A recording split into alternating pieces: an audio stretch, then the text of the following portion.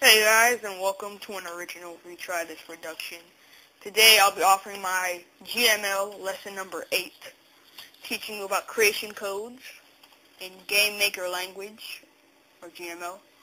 So, this is going to be my 8th lesson, and I'm going to teach you about creation codes. So, creation codes are really easy. What, it, what they are are codes that occur when the room is started, when the room is created. Let's say, for example, my main menu room. I have a lot of stuff in my main menu room, which for each tutorial. So to access creation codes, what you can do, you can go to settings, and go to creation code. Now this code will occur when the room is created, obviously. So you can set up your room before it's even created. Now let's see if I have anything that I would want to. But yeah, let's go to my platform room. That would be easier.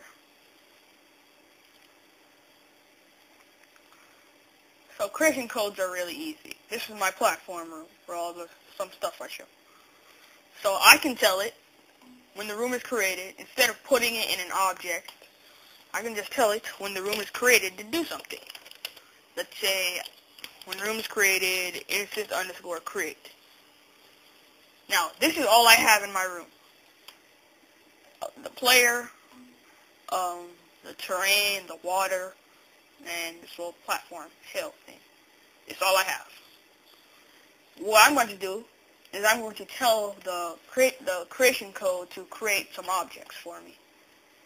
I'm going to tell it to position and the location. I'm going to tell it to create these two power objects that I made in a previous tutorial, the thing and revert.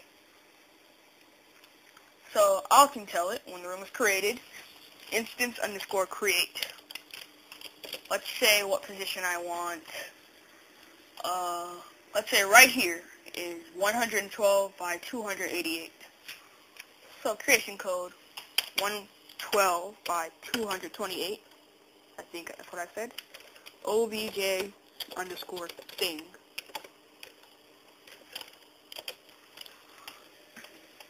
No errors. And I want to create the revert object. I want to create it over here. That's about 560 by 256. So I can say instance underscore create. I forgot what I said. Dang. 560 by 256. 560, 256, comma, obj underscore revert. And better yet, to save up some space, this also saves up space when creating your room, so your game can run faster. So this actually saves space. I can delete my player.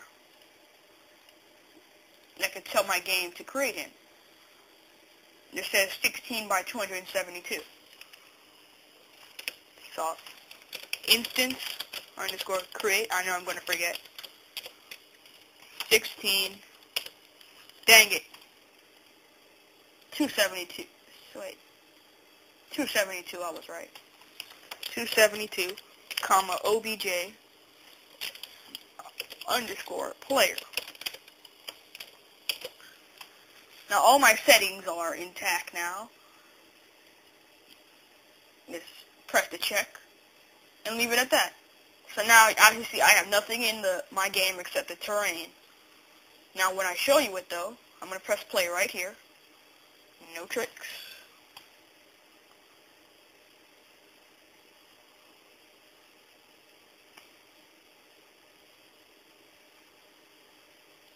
Platformer. Well, maybe the positioning was a little off. Maybe I didn't see that through the whole thing, but the objects are created. So if I touch it, I turn big. That's what the power-up was supposed to do. Yeah, the position was a little off, but so my mistake on that. Uh, I think I'm too big. Wait. Then I can revert back to normal. And that's pretty simple. Creation codes are really easy to understand and use. They're helpful for setting up your game's specific elements.